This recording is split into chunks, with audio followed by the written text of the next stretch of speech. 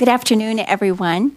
Um, I think this is a perfect place to spend a Friday afternoon hearing about the uh, energy efficiency and renewable energy budget uh, for for fiscal uh, 2015. Um, we are grateful that we're able to put together this forum this afternoon to have uh, once again a reprise of this annual uh, event to really take a look at particularly the Department of Energy's budget and what does that really mean with regard to investments by the government in terms of efficiency in renewables and the implications of that and what that means for trends, et cetera. We've got a good panel uh, to talk about all this and to provide a lot of perspectives and to uh, to kick off our our forum this afternoon. I first want to turn to Ashley Johnson because with um, Congressman Reichert's office of Washington State, uh, because Congressman Reichert is one of the co-chairs of the Congressional Renewable Energy and Energy Efficiency Caucus, and this briefing is an annual event that the caucus uh, is involved with with um, with EESI, and so we're very very grateful that Ashley is here as well. Well, thanks everyone for being here today. The congressman uh, definitely wanted to join, but is back in Washington State. And as Carol mentioned, uh, he is the co-chair with uh, Congressman Van Hollen of the um, Congressional Renewable Energy and Energy Efficiency Caucus, um, which is a bipartisan caucus um, that holds a number of educational events, um, such as this one, and um, also helps um, facilitate the energy, uh, renewable energy and energy efficiency expo, um, which will be happening in July um, up on the Hill. And uh, we're very excited about that and excited to uh, hear from our panelists today. Um, and um, I know that my colleague in um, Van Hollen's office um, is on her way. so I will just let our panelists kick it off, starting with Jason, I believe. Great. Thank you.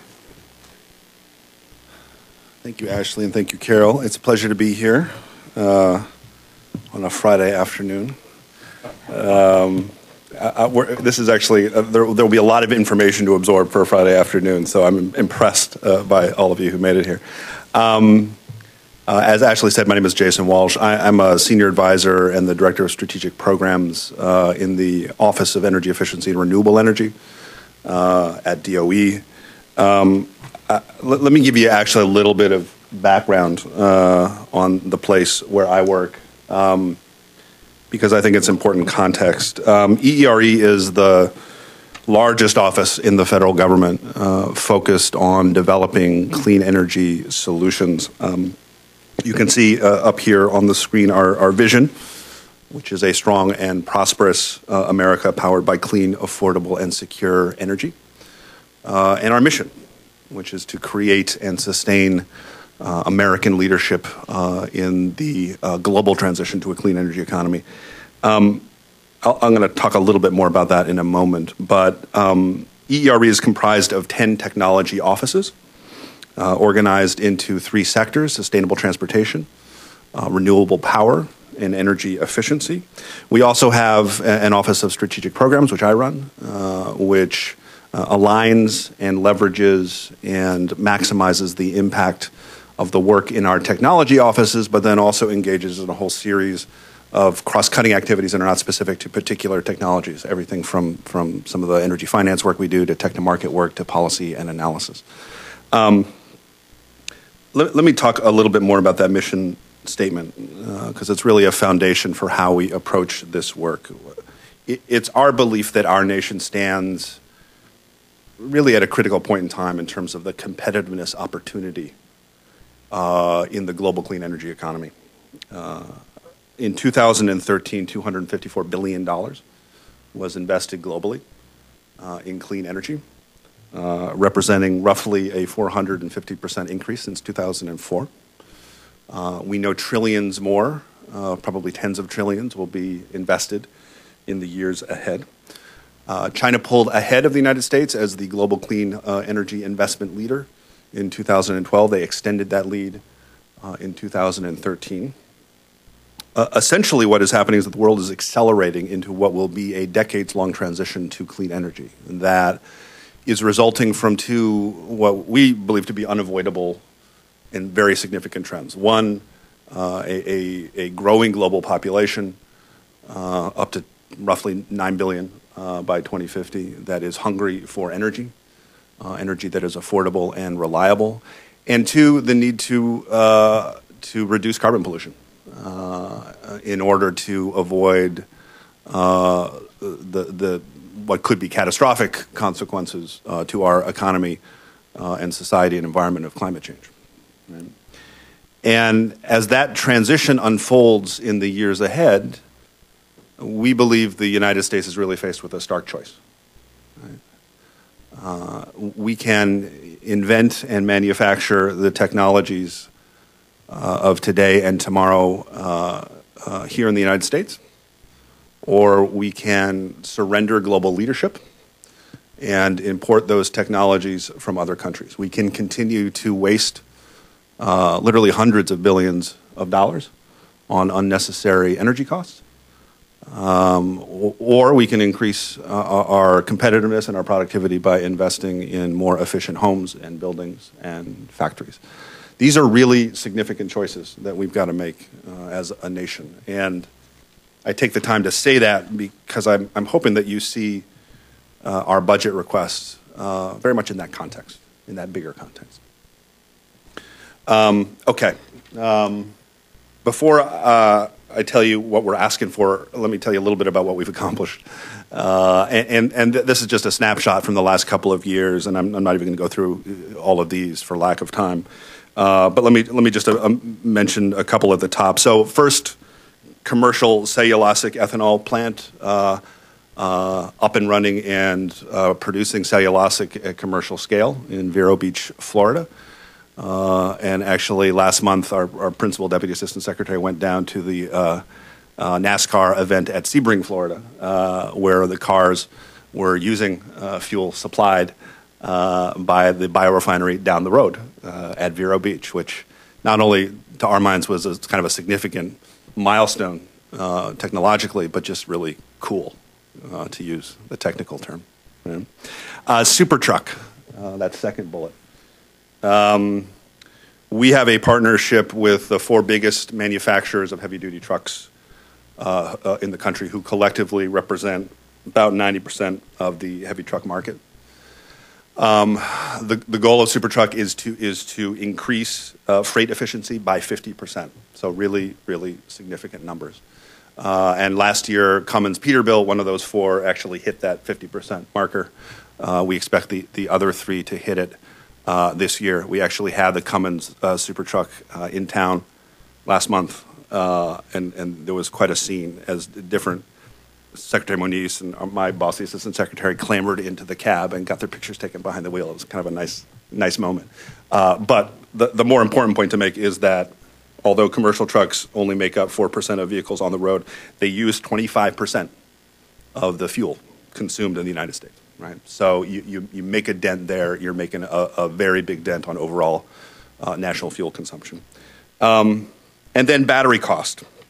Uh, we hit our cost reduction target of 325 uh, dollars per kilowatt hour. Um, last year, uh, we are on track to hit 300 this year and, and ultimately on track to hit uh, $125 per kilowatt hour by 2022. Um, and and this you know uh, translates into a trend that has has uh, just been accelerating, right? So since uh, 2010, the cost to manufacture advanced electric vehicle batteries has dropped by more than 50 percent, right? And not coincidentally, last year Americans bought nearly 100,000 plug-in electric vehicles, nearly twice as many as sold uh, in 2012. Right? So this stuff is happening now, right? And it's scaling up in a really dramatic way, and we think we can we can scale up even more dramatically in the years ahead. Um, so that's anecdote, uh, but there there is no substitute for uh, rigorous third party uh, performance evaluations uh, of our impact, and we take that very seriously because uh, it, it is extremely important to us that we spend our precious taxpayer dollars in a way that maximizes impact uh, at every point. Right? So, uh, what, what this shows is um, an aggregated uh, estimate of the combined ROI uh, of the percentage of our portfolio, which is roughly a third, uh, that we have done third party evaluations for. So, we is actually the wrong pronoun. Uh, others have done it. Um, and these involve counterfactuals, and it's it's pretty it's pretty it's quite rigorous actually. Some of the most rigorous evaluations done in, in the federal government. Um, and we the parts of the portfolio that we have done these evaluations of cover uh, PV solar, wind energy, vehicle combustion engines, geothermal technologies, and advanced uh, battery technologies. Um, if you aggregate all of those results, uh, it, it, finds that the total EERE taxpayer investment of $15 billion uh, yield, yielded an estimated economic benefit to the U.S. of $388 billion for a net ROI of more than 24 to 1. We think that's a pretty good investment and a pretty good payback uh, on that investment. Okay, so now, now we turn to what we're asking for uh, for FY15, which is $2.317 billion uh, which uh, represents continued investment in our three major sectors. Again, they are sustainable transportation, uh, renewable power, and energy efficiency, um, all of which remain key priorities of this administration. Um, it's worth noting that the, the, the uh, total FY14 budget request for ERE was $2.78 billion, so this request is lower than that, but it is a little more than 400 million more than the enacted uh, 2014 uh, levels. So um, this is uh, the our budget summary table. Uh, a lot of numbers here. I'll, I'll, I'll, flag that the largest increases are in our advanced manufacturing office, uh, our weatherization uh, and intergovernmental activities office, and our vehicles technologies office, with continued strong support pretty much across the board. Um, I'm now going to walk through the requests for each of our technology offices. For, for lack of time, I can only highlight one or two items for each of these. If, if I don't mention something that you, you care a lot about, it doesn't mean we don't care about it. It just means I don't have enough time. Uh, and we can have a conversation in the Q&A about it, or, or we can also have a follow-up conversation and answer any questions that I uh, can't answer up here. Uh, and, and, there will be many that I can't answer because there's a lot of detail here. Um, Okay, so let's start with sustainable transportation sector. Uh, and let me start with our Vehicle Technologies Office, which is leading the department's efforts to support the President's EV Everywhere Grand Challenge uh, and, and will continue uh, its emphasis on electric drive technologies uh, and um, uh, the accelerated development of advanced batteries uh, with better performance and reduced system cost. Um, uh, we are also going to be working on wide bandgap devices uh, for automotive applications. These are advanced power electronics, which have enormous potential for a lot of different applications in the clean energy space, and improved motor technologies with reduced or no rare earth materials, which, as many of you know, uh, we face constrained supply lines uh, for many of those materials. We will also continue our support for advanced combustion work, and, and uh, SuperTruck, which I just mentioned, is actually very much a, a centerpiece of that. Uh, we're also going to be placing a lot more emphasis on ultra lightweight vehicle substructures and carbon fiber technologies. The latter, in particular, uh, shows tremendous uh, promise for the automotive industry. I missed one. Bioenergy. Um, let me flag in particular here our uh, demonstration and deployment subprogram, which is that second bullet down uh, where, where really a lot of the focus is going to be on uh, drop in hydrocarbons, uh, which is, I think many folks know, are compatible, fully compatible with the, today's engines uh, and fuel delivery infrastructure. Uh, in particular, it's worth flagging our work here with DoD uh, and USDA to demonstrate and deploy military spec jet fuel, which we think is an enormous first market opportunity uh, that we're really uh, excited about. We'll also be making uh, new investments to enable uh, some of our technologies to validate scale up um, and, accelerating momentum for advanced biofuel production in the wake of uh, some of our successes in cellulosic ethanol. I mentioned uh, the INEOS uh, biorefinery coming uh, online last year. We expect two more to come online this year. Uh, and, and so the more they scale up, the more they can reduce their price and, and the more they can deploy out into the market. And fuel cells. Um, uh, the, the budget request for, for fuel cells remains almost identical to our FY14 congressional uh, appropriation. Uh, our our FY15 uh, efforts will focus on reducing the cost and increasing the durability of fuel cell systems. So, for example, uh, reduction in the uh, platinum group metal content of the fuel cell catalysts uh, will help to increase the power output uh, to more than twice the 2008 baseline, which we think is a significant uh, milestone to shoot for. And let me move on to renewable power. Um, uh, and solar, uh, which is a subject I know that is near and dear to Scott's heart. Um, uh, so, look, there is a ton going on in solar. We could talk about this for, for the remainder of our time. Let, let me um, let me uh, actually flag that that that bullet at the bottom, which is um, uh, is our innovations in manufacturing competitiveness subprogram, uh, which uh, has a substantially increased request for funding. Uh, look, here's here's the deal. The U.S. Uh, currently manufactures less than three percent of PV cells and modules globally, right? And as solar deployment takes off in this country, and so to give you a, a sense of scale, uh, since 2008, solar deployment has increased. PV deployment has increased by a factor of over 13, right? As it takes off in this country and globally, we really want to try to reverse the trend of offshoring uh, of component manufacturing uh, and assembly. And, and, we think we can do that through technology and process innovations that, that really create or, or that are really linked to the competitive advantage of US based companies uh, that are high value add and high tech. Um, I mean, we just, uh, the, the, bottom line here for us is that we think there is a, a, clear opportunity for U.S. businesses to capture a greater portion of the global uh, solar value chain. I think there, there, there has been um, a lot of assumptions made about where and, and how U.S. manufacturing can, can compete in this state in this space based on some pretty comp, on some pretty comprehensive analysis that we've done and NREL has done. We think we can. You just got to target it. Right?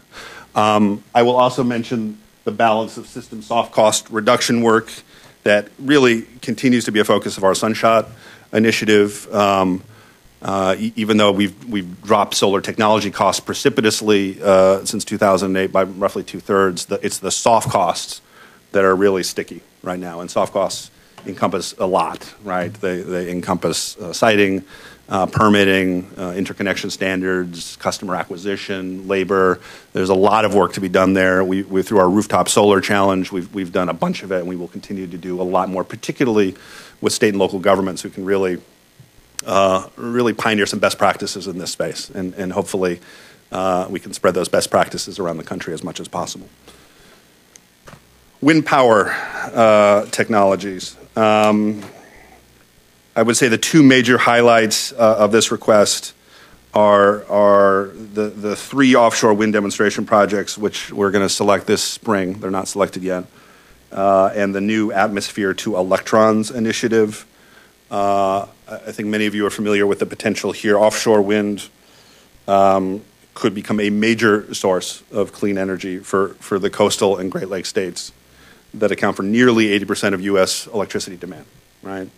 Uh, and, and, in terms of resources, you know, we've got wind energy resources uh, within 50 miles off, off our coasts, uh, equivalent to meet four times the nation's current annual electricity production. Right? So, so there's a lot of resource there.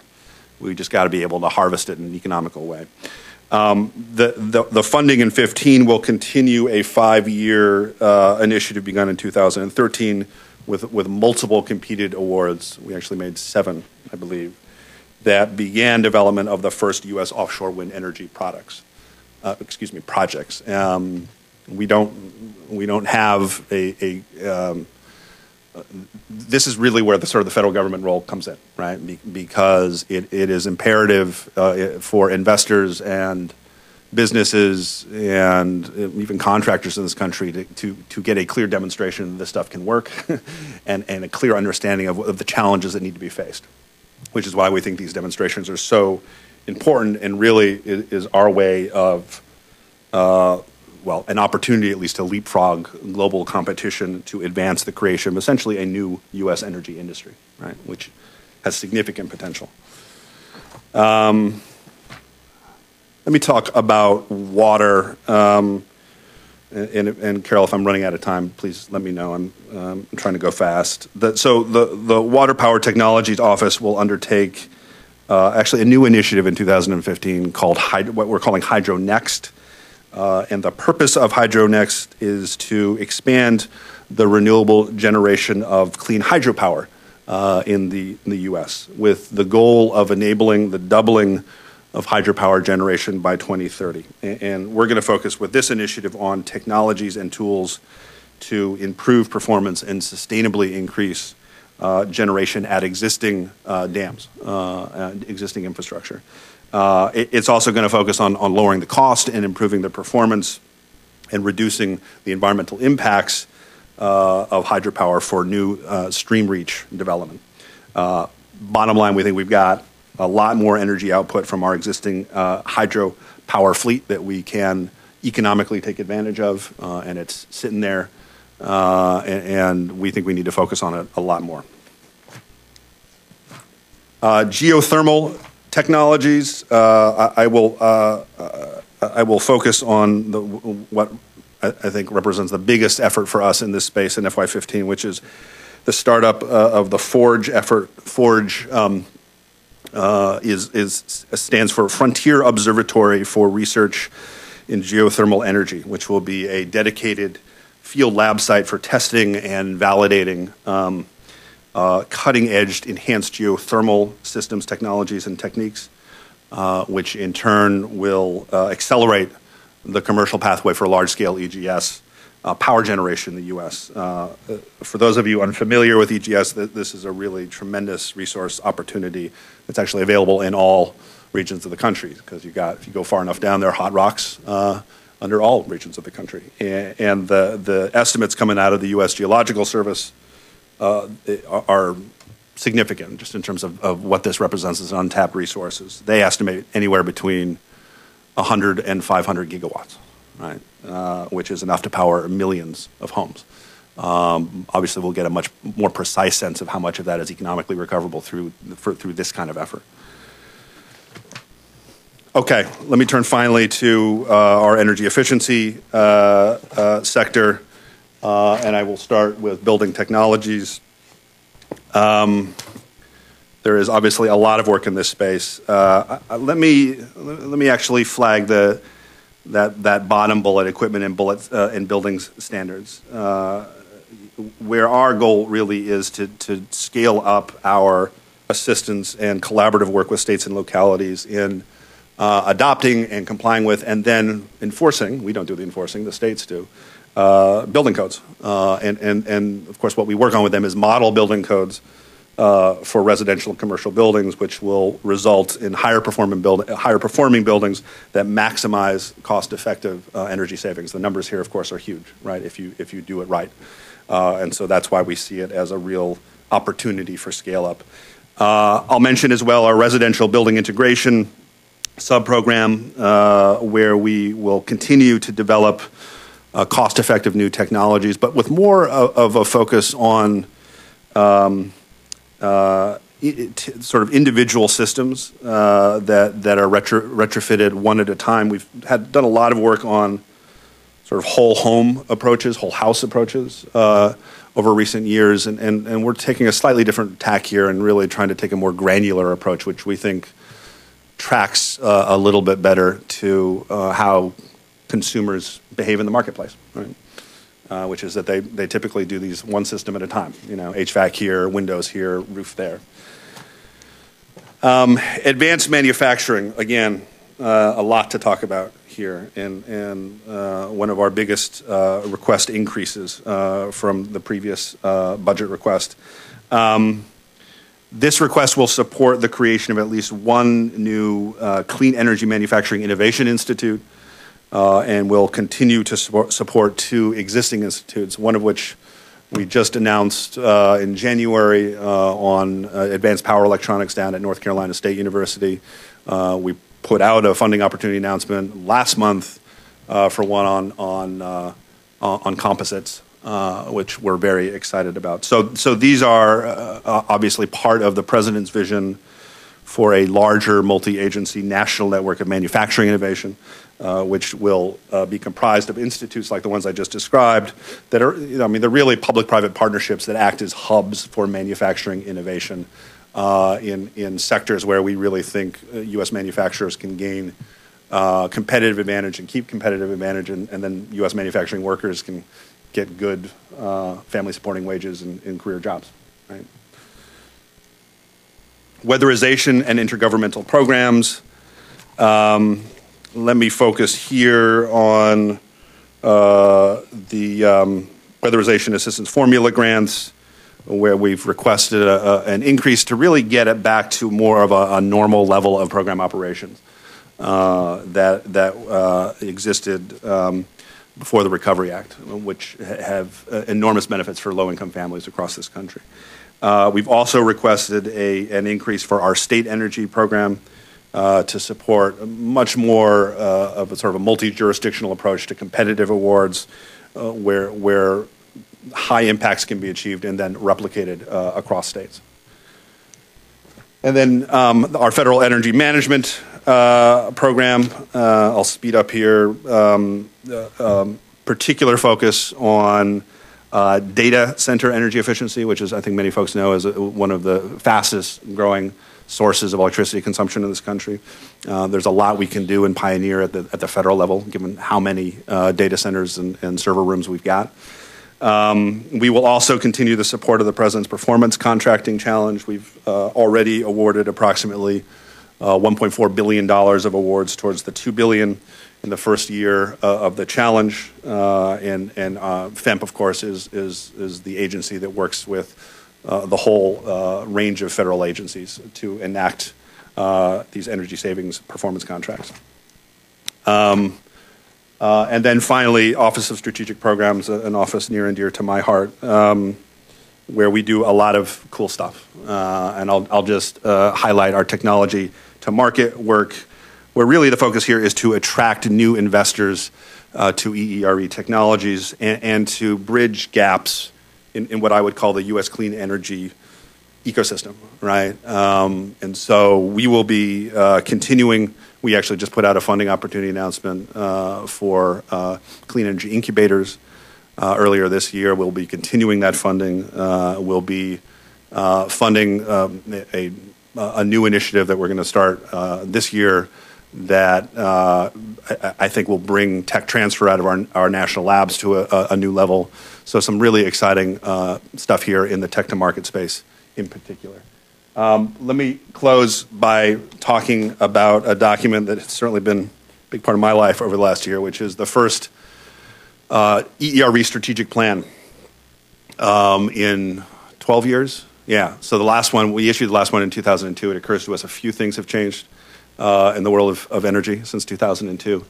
And this is our chance to define EERE, and, and really clearly explain who we are and, and why we exist, and, and to describe our, our, our vision for the future and the role we play in realizing it, uh, which, which includes, I hope, a very clear articulation of the problems we're trying to solve. Uh, and how we're measuring our success in doing so. And we also wanted to connect with our stakeholders. I mean, we want to we ultimately want our stakeholders to see themselves in this plan, right? And, and because so much of our work really, I think, can be accurately de- described as a public-private partnership. In fact, most of our work, um, and, and, it and it should resonate uh, with all of you. So look for that to come out in the next couple of weeks. We'll uh, announce uh, a webinar about it. We'll, you'll you'll you'll see more on this front. And on that note, I will um, uh, turn it over to one of my colleagues. Great, thank you, Jason. A lot of information, but I must say, I think it's very, very helpful to have Jason walk us through this. And I also encourage you to look at EESI's website so that you can see the um, PowerPoint in, in uh, greater detail because I realize how small this print is. So it means that you really do have to focus and concentrate. Uh, but there are enormous opportunities, as as you just heard, and I think that it's also really important to to think about what this means as far as uh, the the role of government um, and and the kinds of investments that are being made, the kinds of of progress that's been made, as Jason was was talking about, and also how interconnected a lot of these things are. And I was also struck in terms of looking at how many things are, you know, where there is also an integration element in terms of thinking about systems and the integration of those systems, because we really do need to make sure that things really work together.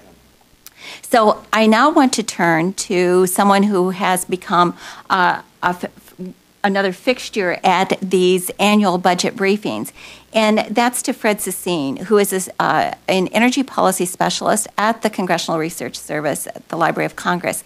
And I think this is is very important, and Fred is backed by popular demand uh, because he has to answer so many questions for congressional offices on both sides of the uh, of the hill, and and therefore he has to think about the budget, what this means, the kinds of questions that are going to come up, and what are kind of the key aspects in terms of thinking about themes and how and and providing some context for policymakers and their staffs. Fred.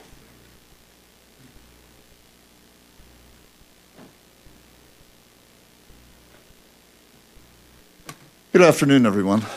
Uh, I noticed a lot of you aren't smiling. Is that because this is such a terribly difficult topic, or I'm not sure, or just because it's Friday? and uh, thanks, Carol, for calling me a fixture. I think. Um, well, uh, if you think Jason gave you the whole briefing book on the EER uh, budget request, then my comments aim to be a kind of Twitter version of the EER re- request and uh, I will focus mainly on the requested changes in funding, both in dollars and percent. So I won't talk a lot about the programs and what they do. Jason's already done that. But before I go into the data, I need to make a CRS disclaimer. Um, as all of you may know, CRS was established by law to be a non biased and nonpartisan policy research agency. Thus, I'm required to make an appropriate and dispassionate disclaimer before starting my comments. Please know that any visual resemblance based on the size of my nose or my mustache, uh, that I am not related to any media personalities, including classic cowboy star Leo Carrillo, old time comedian Ernie Kovacs, nor TV newscaster Geraldo Rivera. Please, uh, no relation to any of them. Well, clearly you see why I gave up on stand up comedy and instead opted for a more exciting career in policy analysis. Okay, so let's get on with the CRS fact checking and uh, budget review. Uh, everyone should have a hard copy of the slides in the presentation. I will refer to the slides by number, which is shown in the bottom right hand corner of each slide. Now, if those are shrunk down, they may be really hard to, so just count through them. It starts with number one and just goes straight through. Uh, but you will be able to see it on the screen. So um, also note that some slides uh, have a dark blue background. Those are index slides, which lists a group of slides that follows immediately after it. So it's just kind of an organizing technique. So let's start with slide two, titled Outline which provides an ordered list of the blue index slides, which can help you find different sections of the presentation quickly by kind of leafing through. So, for example, slide three, uh, again, one of these blue index slides, identifies the five slides that are going to follow on the overview section. And within that section, slide four on highlights shows that the proposed $416 million increase for EERE accounts for more than half of the 716 million that's the total EU, uh, DOE requested increase. So that's a, a, huge chunk of the change in what uh, DOE is asking for.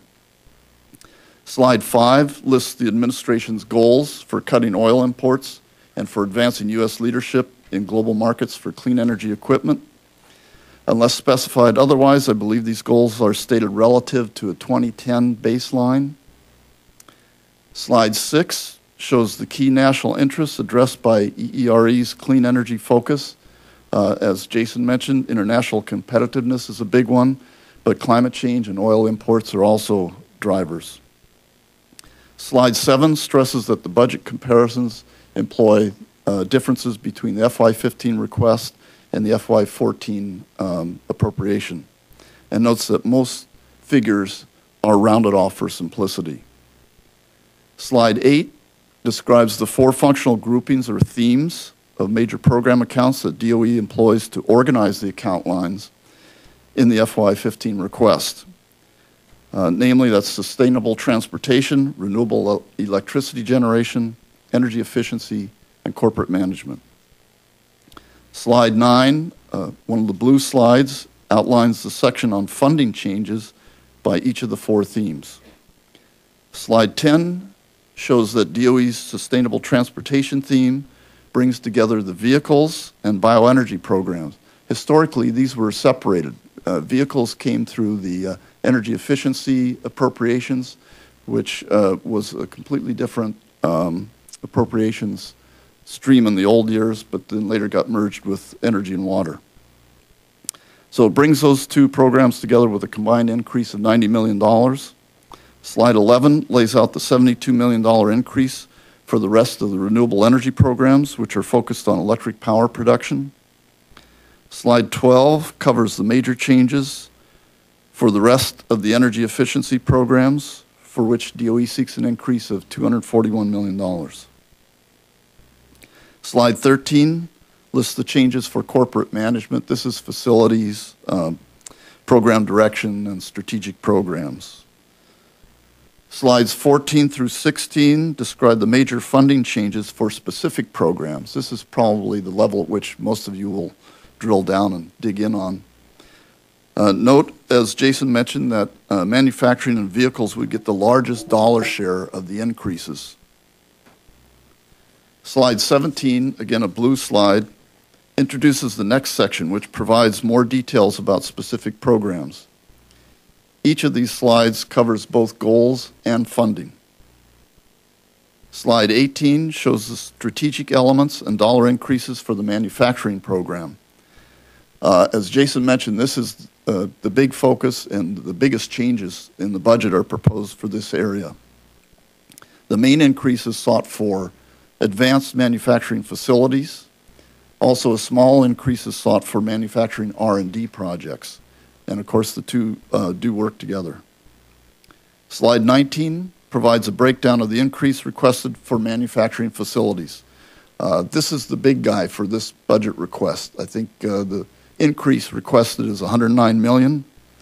Uh, the largest share of the increase, as Jason noted, is for clean energy manufacturing innovation institutes.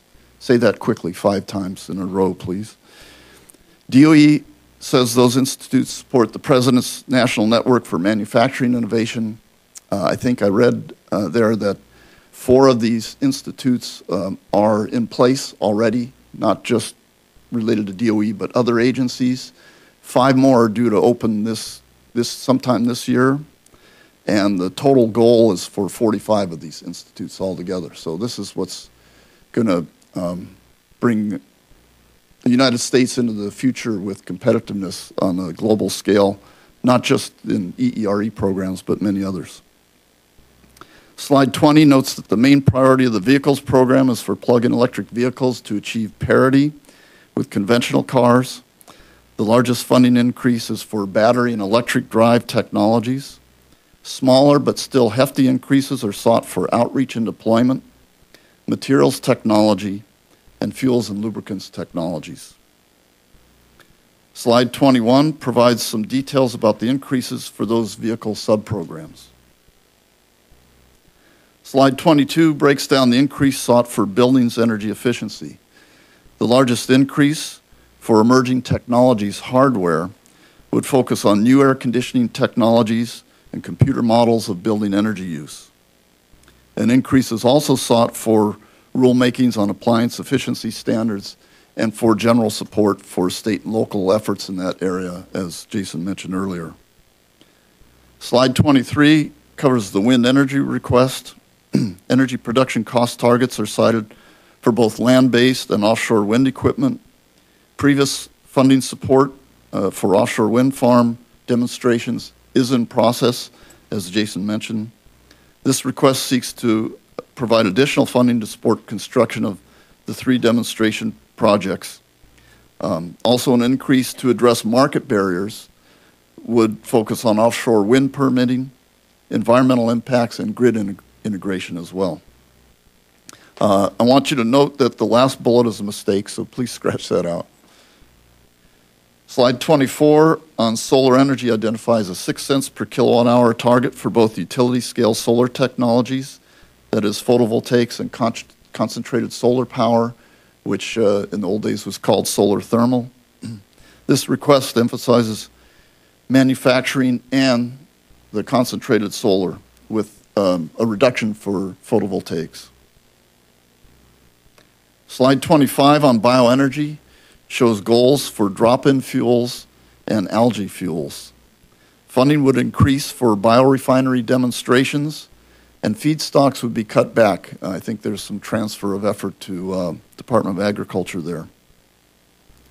Slide 26 on clean energy EDPs describes proposals for two new initiatives sustainable shale gas growth zones and a local technical assistance program. I won't tell you about those. You can ask Jason about those later. Uh, $14 million altogether, I think 10 for one and 4 for the other. Slide 27 notes that funding is requested for two innovation hubs. Uh, I get a fair amount of questions, and so do my colleagues, about these hubs from time to time. DOE seeks 25 million for the critical materials hub, which uh, I believe mainly supports the manufacturing program. And also, DOE seeks, seeks $10 million to continue funding at the current level for the Buildings Hub, which is now identified in the budget document as the PSU Consortium for Building Energy Innovation. Uh, for all of you staff folks, I've included some additional reference material that starts after slide 28. and among these, slide 29 provides some background on the innovation process and demonstration projects. Uh, in general, the developmental gap between R&D and commercialization of technology poses some key financial risks for private companies. Demonstration projects try to help bridge that gap, but tend to be expensive and thus very controversial in the budget process. Slide 30, uh, a blue slide, introduces a section that puts energy efficiency R&D and renewables R&D funding in the context of spending for other DOE energy technology programs. Slide 31 has a pie chart that shows a long term view of the relative funding that has supported um, the four main energy technology programs, namely nuclear, fossil, renewables, and efficiency. Slide 32 presents a table with the energy technology funding breakdowns for FY13, FY14, and the request for FY15. And then slide 33 presents three pie charts for those same three, FY13, FY14, and FY15.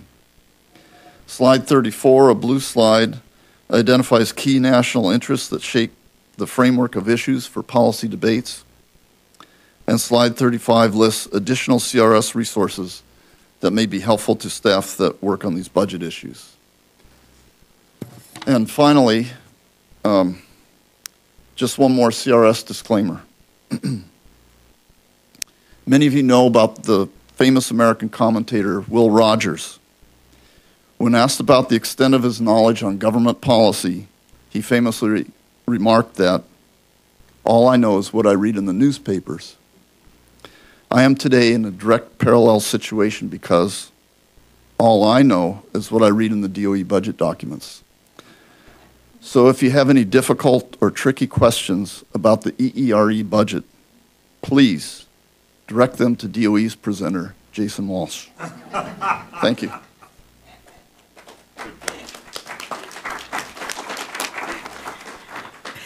Thanks, thanks so much, Fred. And now you know why Fred is here every year. Um, and I also think that uh, what Fred has done is it provides another really, really useful perspective for all of us in terms of looking at the material in the budget that Jason presented so well. And but then what Fred does is is in terms of looking at some of these other themes, and I think it's also really interesting always to have it put in context in terms of what does this look like historically in terms of where investments have gone and so that we can really see that because I know that lots of times there are a lot of questions that come up in terms of uh, what's being invested on the on the renewable efficiency side versus what's happening on the fossil or nuclear side, and it's really important to sort of make sure that we understand uh, where where those facts really are.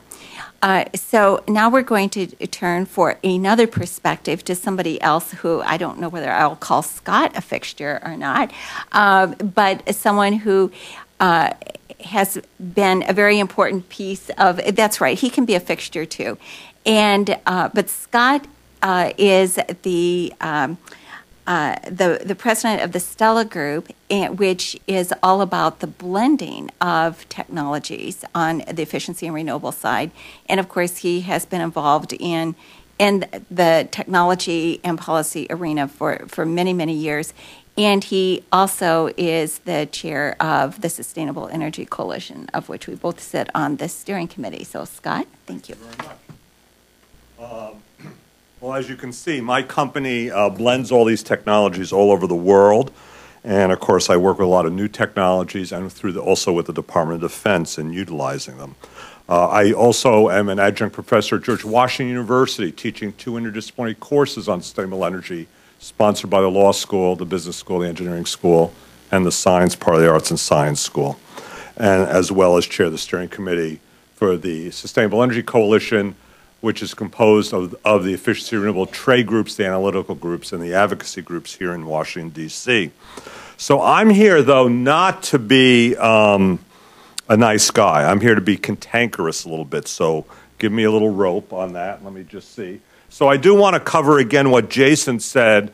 Uh, we've had increasing investment, as you can see, uh, in the when I started in this field in the 1970s, working up here uh, in the U.S. Senate, and frankly, the entire renewable energy private sector investment was less than what the Pentagon made uh, spent for computer knobs on their mainframe computers. Uh, that has surely changed now, as you can see, uh, in, uh, talking to uh, uh, $244 billion worth of investment uh, some saying 269 billion of investment, of private sector investment in these industries. So I want to leave that this is uh, a big set of industries. Efficiency has about 300 billion dollars worth of investments, of private sector investments globally, also rising. And if you want to look at the private sector side of their R&D budgets, which is about four or five percent, we're still talking over 10 billion dollars per renewables and another over 10 billion for efficiency. So these industries are spending in, in RD and D uh, more than their respective governments. So you need to know it has changed very definitely from, from the old days. Uh, I also want to say that this is uh, this was by, put, put out by the Business Council, but you know when you take a look at 2012, we added 17 uh, gigawatts uh, to the grid. Uh, we are we are producing about equal or more than natural gas coming on as new electricity to the grid. So this is also astounding from uh, where we were in the old days. So I want you to be very clear on that. Um, this is this was just put out uh, in January by the, the Solar Foundation. And these are the uh, job statistics just on the solar side. And you can see in installation and manufacturing and, and, and the percentage growth rates from 2012 to 2013. And you can see, you know, 21% over, you know, 21% installation, 23% sales, project development to get projects. So an overall 20% growth rate. we're seeing similar things in the other renewable energy technologies and efficiency technologies. So, and it is uh, in the um, solar side, because obviously the, we have sunlight in every state of the nation, uh, it is very geographically dispersed, and I want you to be aware of that. And then um, uh, ACEEE just put out this study, uh, which I want you to be very aware of, and this is really cost today, deployed levelized cost of energy efficiency compared to some of the renewables and traditional. And as I, if you took my class at GW, you would know it's always less expensive to save energy than produce it from any resource. This is the now the great chart I'm going to use. Uh, but I want you to be aware of that, that if you want really to increase the penetration rates of some of the renewable technologies, whether it's electricity, thermal, or fuels, uh, if you're using less, it will be far more cost effective and it will be far more quicker to do. So if you want to make impact, whether that's importing fuel or reducing Clean Air Act emissions or climate greenhouse gas emissions or use of water, since energy, the conversion, extraction, use of energy uses more water than irrigation. It is our largest water user. Uh, these are things you need to be aware of. So here is the DOE budget, and I want to say so Jason is not hurt that it's a good budget. It's a thoughtful and good budget. But I'm not here to compliment you on this budget, so I'm going to want to talk to you. And I just want to say the devil is in the details. I'm going to go through a few of them just to give you some, some meat for the, this afternoon. First of all, on the geothermal, I, I went to every trade group and said, What do you think about this on the efficiency renewable side? And I got about eight answers. Again, most of them support it.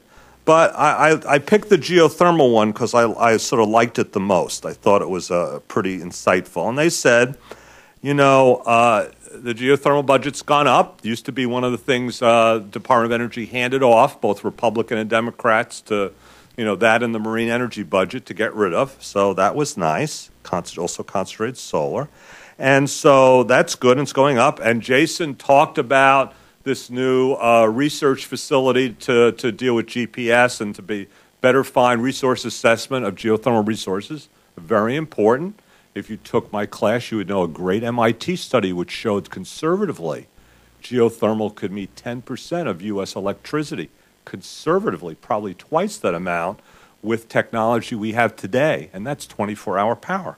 But I'm not here to talk about that. What the geothermal industry says is hey, you know, yeah, resource assessment's good and new ton of technology development's good, but the real barrier in the market beyond tax policy is the fact that there's a lot of drilling risk.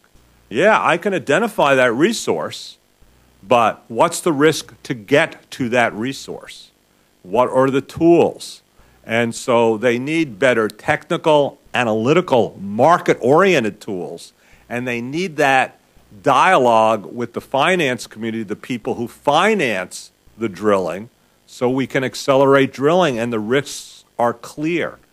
So, this is something where uh, DOE actually did a little more of a decade ago and now has sort of walked away from that and looking at some other things. So, I want to say that each of these programs have some key issue barrier issues that need to deal with. So, that's a geothermal one. Um, I also don't want you to look at budget numbers here. I want you to understand that uh, most of the work is done by the national labs, partnership with the universities, and then requests for proposals of what they want to industry. And it is collaborative. I have no problem. But I want you to highlight what I'm talking about here is the fact that I want you to think about something. It takes a year to 18 months to conceive of a need within Department of Energy. You need to get OMB sign off. You need to get Hill sign off, and that takes another year. And then uh, you need to actually develop the program once it's been approved and actually implement it. That takes another year. At best, we're talking three years. Well, this technology is changing very fast, just like your laptop and, and your cell phone. So what was a very good thought three years ago and what money is going out sometimes doesn't really touch the edge. So we need smarter, more agile ways. There is one only one program that I really believe has dealt with that issue, and that's this manufacturing initiative.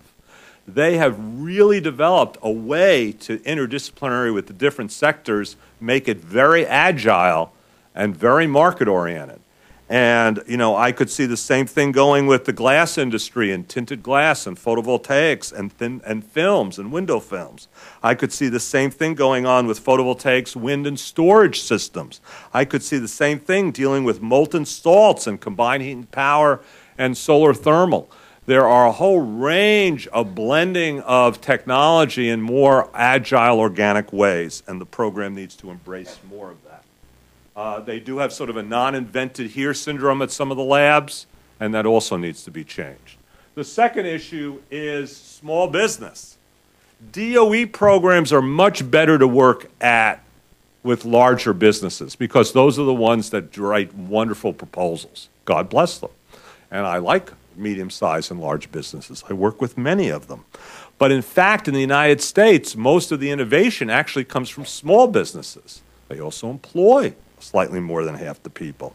So there isn't the kind of ease and portals for small businesses to interact unless you're playing the exact game that the lab or headquarters or the university feels is correct.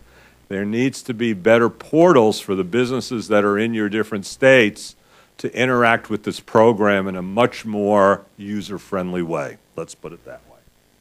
Uh, last, oh, and by the way, a great article, uh, a great report just released by the Small Business Administration on uh, small businesses' role in innovation in the green sector. And I hope you look at that in my presentation.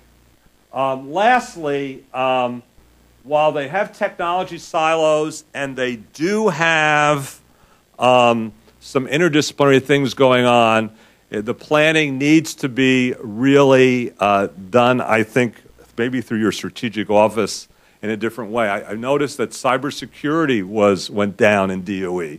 Yet a lot of these energy efficiency and renewable technologies is exactly what folks like me are do, doing to have autonomous systems to deal with cybersecurity issues and grid resiliency issues. I see a lot of the smart grid work more on the technology side, not really looking at the resiliency, the terrorism, the human error, the climate issues and change impacts. So we need to figure out how to better team uh, the wide and depth and breadth of the EERE technologies to solve pressing issues that other agencies are looking at, but we supply the answer.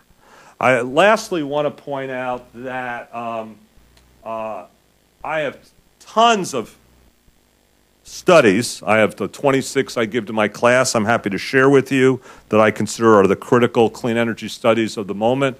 Um, we are having, uh, through the Sustainable Energy Coalition and the Renewable Energy Energy Efficiency Caucuses, or caucus, uh, at the end of July, our annual uh, uh expo here in the House Caucus Room. And EESI will let you know, but I hope you come to see the companies from around the country. We're going to have maps on resources, employment, manufacturing. I want to disabuse you of the notion that you know everything is made in China. You know, I just ribbon cut a new photovoltaic manufacturing uh, plant in Hattiesburg, Mississippi.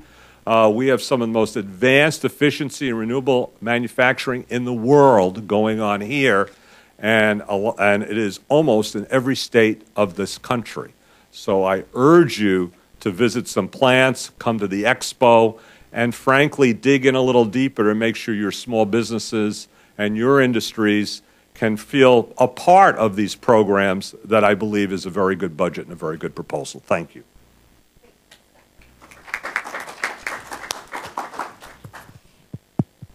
Well, I don't know about you, but I think there's a lot of exciting things going on and enormous potential. Um, it's hard to kind of have a grasp of all of these things and and how they work together. But hopefully, you will all feel free to uh, talk to any of our speakers and follow up with us at EESI as well. And and I must say that I think that as as Scott was talking, the um, the the more that we learn in terms of what is also happening across the country. Uh, in terms of actions being taken by states, by local governments, uh, by all sorts of, of entrepreneurs and, and small and large businesses. It is really exciting, and it's also important to recognize that if you were, for example, looking at a wind turbine or whatever, it's you know it's comprised of a lot of components that the supply chain goes across a lot of different states. And that's true with regard to all sorts of these technologies. And that makes the whole thing, in terms of thinking about these maps that I think we all need to do a better job of developing, it makes it absolutely fascinating because everybody's got a stake in these investments and what's going on. But let's open it up for your discussion. Obviously, this whole area needs to be um, uh, a continued dynamic discussion because things are changing so quickly. It's absolutely incredible. So let's open it up for your uh, questions, comments, and if you could just identify yourself, please.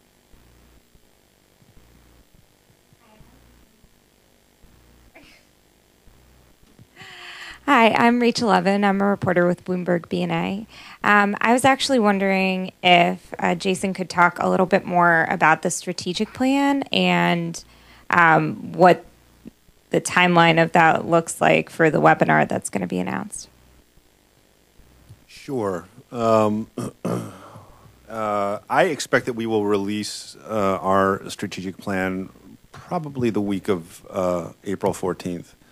Um, I, I, I, can't make a commitment there. That's, that's sort of an estimate at this point. It, it will be released in April.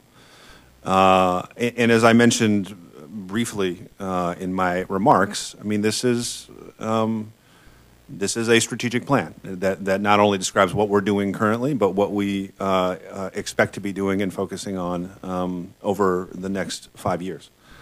Um, and so it, it, it lays out, as I uh, suggested briefly uh, in my earlier remarks, uh, our, our mission, our vision, our strategic goals uh, as an office, our, our success indicators, how, how we measure success in terms of what we're doing and, and, then really the bulk of it is laying out our strategies. Um, and, um, and we go into quite a bit of detail uh, with, with strategies that are designed to meet each of what are seven uh, strategic goals. Um, it, it, also will uh, articulate, hopefully quite clearly, sort of how we go about um, uh, making investments uh, we have a, a, limited budget, and so we actually have to have a logic model, right, for how we invest uh, in our portfolio and make decisions across different technologies, which which actually, um, you know, uh, uh evolve and come down a cost curve, and, and and then that presents us with a whole set of new choices. So that's a little bit more detail. Uh, obviously, um, when and, and I, I, can't tell you right now when we're going to do a webinar because we don't have a date yet. But we'll we'll be able to provide a lot more information about that. And and we should actually I should get your card before uh, I leave today. Go ahead. Yes, John Scheidler from Future Past in Arlington, Virginia. Uh, another question for Jason. I noticed uh, uh, in your discussion of bioenergy, uh, you mentioned drop-in fuels, and th- this uh, this term is very important to a lot of people because it means that uh, the supply chain can be used to distribute the fuel without a lot of modification and so on. However, um, what we're also learning from the experience that EPA has had with its uh, renewable uh, identification number um, program uh, that when there's a financial incentive to produce biofuels, you may get some bad actors uh, committing biofuel fraud and and not selling biofuel when they when they say that they're selling biofuel. So my question to you is, uh, have you considered uh, any uh, approach or um, initiatives uh, to help uh, deal with uh, the the need to track uh, the sustainability information associated with bioenergy to prevent fraudulent actors, and also to have a good accounting of the extent to which bioenergy is integrated into the supply chain.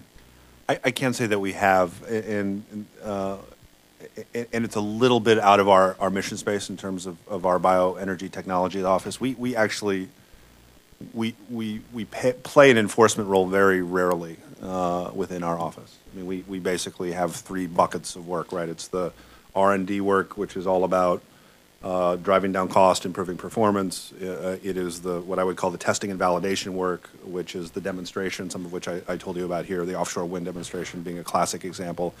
And then there are a whole set of market barrier reduction activities we engage in. Um, enforcement is, is typically handled by uh, uh, our colleagues at, at EPA uh, and in other agencies, and they of course get a lot of love uh, for for that. Um, you you pose an interesting question. I, I, I don't know if my colleagues within the bioenergy technology office have ever considered whether we you know we can interpret our mission space accordingly. I, I think you're raising a real issue, but it's not really something that we've considered part of our mission space. Okay. Um, other questions, comments? Okay, go ahead.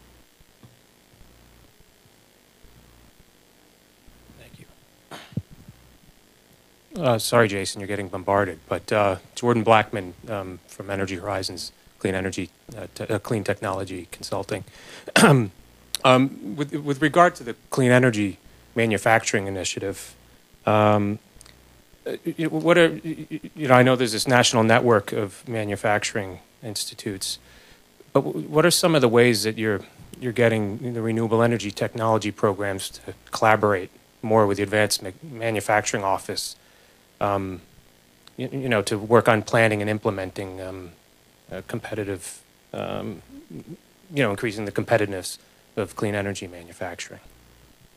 Yeah, it's, it's a good question, and um, I, I think there's quite a bit of work between our advanced manufacturing office and uh, our other technology offices, um, primarily around what we would consider to be um, platform technologies, right? Cross-cutting technologies that are applicable across a number of different uh, technology spaces and industry sectors. So I actually I gave the example uh, of uh, our carbon fiber work, right? Which obviously our advanced manufacturing office does a lot of work on, but that you know that is.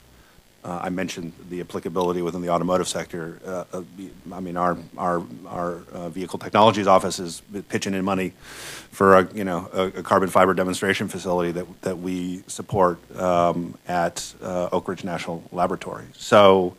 We're doing some very similar things within our solar office, where again, our advanced manufacturing folks um, and uh, our solar folks are working together in a very collaborative way to look at ways in which we can um, uh, in, drive down technology cost in, in a number of different ways. You, you mentioned the Clean Energy Manufacturing Initiative, which is really an umbrella initiative that tries to pull together um, all of our manufacturing work across our technology offices to um, to, to kind of provide a coherent approach to how we're approaching these things. And so it, that's very central to what we're doing with that particular initiative.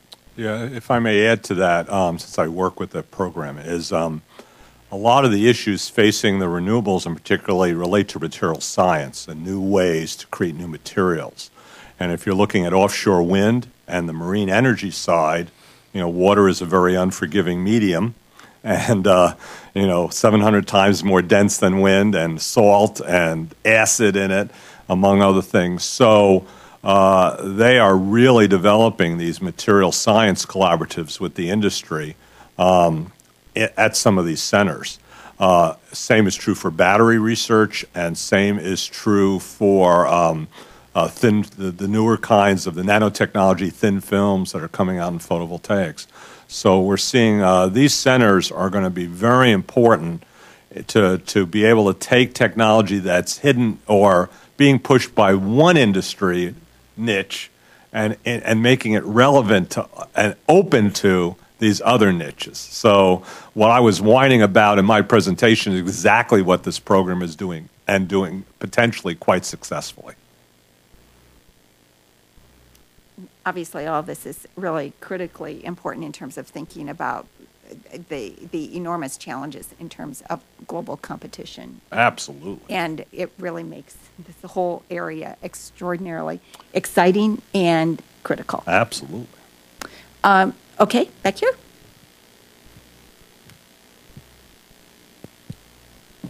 Thank you. Uh, my is George Hutchinson. I work with Concurrent Technologies Corporation. I'm going to try and fire off two quick questions. Uh, Jason and, and, Scott, if you could follow up on it. The question is, um, you know, it looks like there's a, a pretty robust amount uh, being asked for in the vehicle technology space. And currently, the Department of Defense is, is uh, executing a, a large vehicle to grid program across several DoD installations. And there's some promising uh, results burgeoning, um, which would show the effectiveness of electric vehicles being used in an ancillary market sense mm-hmm. to help premiumize the, uh, the, you know, lessen the cost of the battery, bring down the overall cost of the vehicle, and then uh, help advance electric vehicle penetration into the, uh, into the states that are selling the electric vehicles. So it looks like it's uh, some promising results. My question is: Is the Vehicle Technologies Office, with its portfolio, will they be looking at any specific vehicle to grid technologies? Uh, and then for Scott, um, because you have experience uh, with the the DoD DOE uh, interface and uh, and the existing MOU, uh, do you see promising developments in that space, and could that be applied potentially in this area? Thank you. And my answer, unfortunately, is fairly short. We, I mean, we're interested in that. Um, we have not done a lot of work in, in this area. There, there is an issue of what, of no pun intended, but what lane we drive in here in terms of. Ooh, very uh, good, uh, Jason. Very good. Uh, in, in, in, uh, in, terms of other what, other what, other federal agencies are doing uh, in this space. Um, it's a great question, and, and, you know, not only is it this collaboration a way to um, reduce technology costs, but it, again, it, it, addresses other issues. The way the reason military is actually interested in it came out of September 11th. Frankly, is that if you have a grid failure, uh, can you keep the activities of the bases going, and not only just driving around vehicles, but using it to stabilize and harden, and in some cases, back up critical functions. And uh, we're just at the at the cusp of understanding the benefits of this. But this answers another problem, and, I, I'm not putting Jason on the spot for this. This really has to go a little bit higher. And uh, something I've been doing with the Quadrennial Energy Review that's also coming out of DOE and, and dialogue with the White House is you know, you have a whole homeland security agenda, you have a military agenda, you have an uh, energy and technology agenda, you have a, an environmental and emissions agenda. And there are times, and this kind of uh, grid connected vehicle issues, where all those issues merge very neatly together. How do you drive it, and how do you draw on the resources of the different agencies in a collaborative and coordinated and supporting manner to get there faster, not slower? Uh, now, that's easier said than done, but is it very important? It is a critical issue and we really need to figure out a way to do that better. And we actually we need some better understanding of that up here on the hill, and because you know, and from both parties doesn't go against anything either party stands for to help drive this agenda a little further, pun intended as well. Thank you. And this is also an area in terms of thinking about the whole Office of Electricity and resilience. Absolutely. Where all of this comes together in terms of thinking about the value of ancillary services. And I know that the certainly the former chairman of FERC of the Federal Energy uh, Regulatory Commission was extremely interested in this whole area, and that there has been a lot of work um, underway on this too, because you've got a lot of different players. But I know that PJM um, in, in, terms of a local, or I should say, regional system operator, um, has been very, very interested in that and doing a lot of work with um, folks out of the University of Delaware, for example, in terms of really looking at that and how you can bring some of these things together. And I think that's happening in a number of other places around the country as well. So, but a lot to do and a lot of moving pieces to to coordinate. there. There, there you go. you. Good, three Absolutely. good puns. We just can't help ourselves. We can't help ourselves. Um, okay, go ahead. Sorry, Emery. Emery, you're getting a lot of exercise today. It's great. Good afternoon, Roy Williams with Future Past. Uh, uh, uh, we're of course talking about the worst constraint of all, and that's the, con- the uh, federal budget process. But uh, there was some mention of rare earths, platinum, and other uh, raw materials that are part of our, our transition. And uh, I was just curious if the panel had any comments on are there particular constraints, either that there's not enough of that raw material on the earth, or that they tend to come from countries that are difficult to get a reliable source of those raw materials, and how that impacts us. No, you go, go ahead. Well, first I want to laud uh, DOE for, for looking at rare earths and other things. But what we saw from that a few years back, China announcing they were going to curtail rare earths, and of course it had re- repercussions over the world that they didn't even expect, and they sort of backed down on it. But it was uh, it actually was a gift because all these metals and materials are in a global market.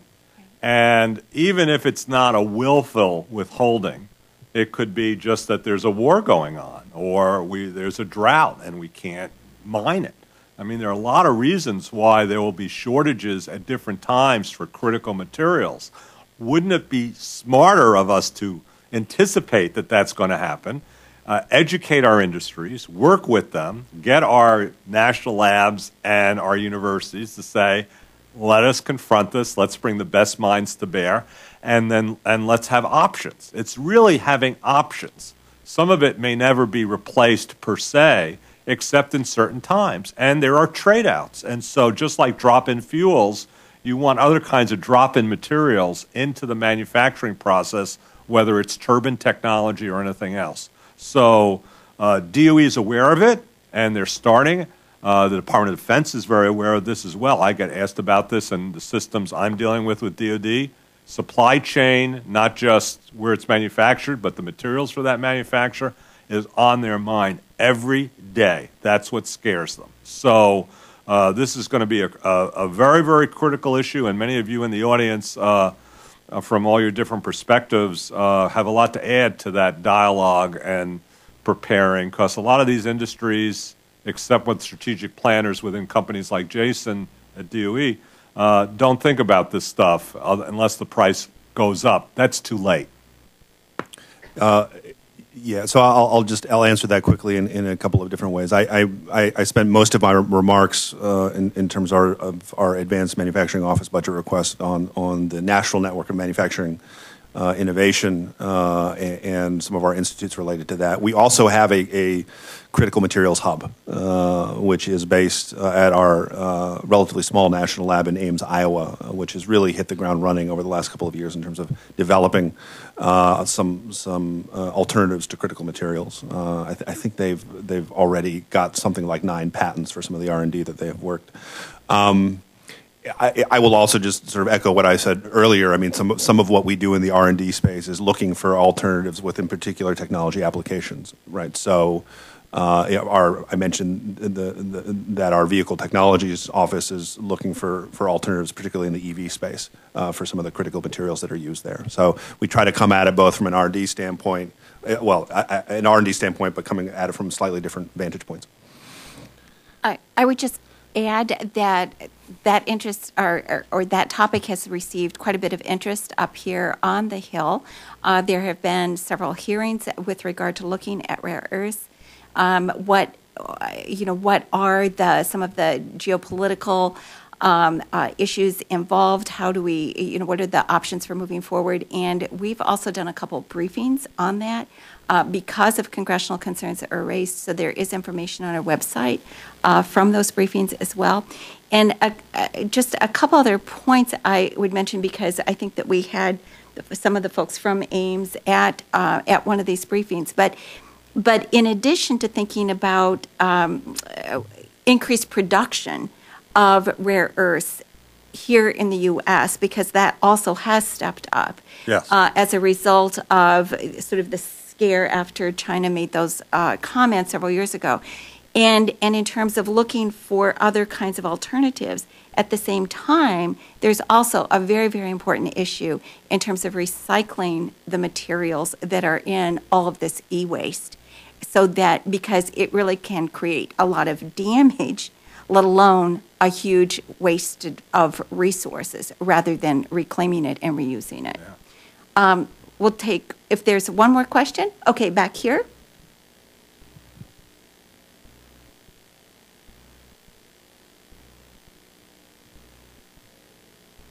Um, hello, uh, my name is Prab, and I wanted to know um, how tentative is DOE in regards with hydropower, making it as a renewable power or not? Because I see at certain conferences that you know DOE states uh, hydropower as non-renewable, and at certain times they see it as renewable. So has there been like a tentative decision made on hydropower being as a renewable or as a non-renewable in upcoming years? We, we are very unconfused about about whether hydropower is considered renewable. We, we, it, it is a renewable energy resource, and it's and it's a very important one because it is baseload power. Absolutely. And um, the, the the focus of our uh, initiative on hydropower is to take advantage of the fact that we've got 80,000 dams in this country, right? Only 3% of which uh, are, are, actually generating hydroelectricity. And so th- there is a lot more we can do uh, to uh, generate electricity from our existing infrastructure, which uh, is a hell of a lot easier than building new stuff. Uh, and there are ways of, of, doing it. I mean, we've got, a, a for example, a fish-friendly turbine that we have been developing with our uh, private sector partners for a number of years that, that we want to put out there in the field and, and, and, and start deploying in really significant ways. So uh, we, we, we are not at all confused uh, about hydropower. It is, it is a, a, an absolutely critical part of, of the renewable energy resource mix. And DOE has also done turbines that are just more efficient, meaning for the same site, you're just getting more power out of it. How, how great is that? Why wouldn't we want that? And work under lower water conditions as we experience uh, changes in climate and, and have higher droughts so that you're still able to, to get outputs uh, with, with lower uh, lower head in the, behind the behind the dam. So it's very exciting. As as well as being more fish friendly, so that it's sort of a whole, again, um, uh, uh, multiple benefits all coming out of that very very important research and yeah. development of these of these turbines. We've also, I mean, I should mention StreamReach as well, and where we've been developing more, modular systems, which have a lot of potential and, and, and very, I mean, we actually call it low impact uh, uh new development uh, mm-hmm. or LIND, uh, which has. I mean, I mean, just the, the resource potential in, in streams. Of course, there are a lot of streams in this country is is is significant. So we want to really be driving that more as well. Yeah, a lot of interesting stuff in terms of marine kinetic um, and looking at different kinds of conduits that can also provide power. It's just amazing when you start to look all of the different places that you can pick up energy that can be tapped, which just makes everything much more efficient. So I want to thank all of you for coming. I want to thank our speakers very, very much. Appropriation season is really underway now and there are a lot of appropriations hearings that are happening. I know that members have to get their requests in, uh, in fact, this next week in terms of looking at their priorities. So uh, there is a lot of activity around budget, uh, asking questions. I'm sure that Fred is probably getting a lot of issues raised. Fred, do you want to say something about this? Is, uh, uh, there was a recent uh, newsletter article that mentioned that it looks like from the political side, a lot of people are going to be interested in policy riders this year. and already there's some skepticism whether they can complete all of the 12 appropriation bills. so that's a shock. a lot of people were hoping that this year was going to be regular order. Right, right. No, sure. yeah. what? So, uh, in terms of the energy and water appropriations, right. covers DOE. Uh, other than again, all I know is what I read in the newsletter. so I just want to share that with you guys in the last few days. So we will see because it is once again going to be quite a year. So I want to thank all of you. That's very, very helpful. Terrific job. Thank you all very, very much. Thank you. And the materials, again, will be up on EESI's website. So please feel free to contact myself or, or any of our staff with regard to questions that you've got, or, of course, any of our speakers. Thanks.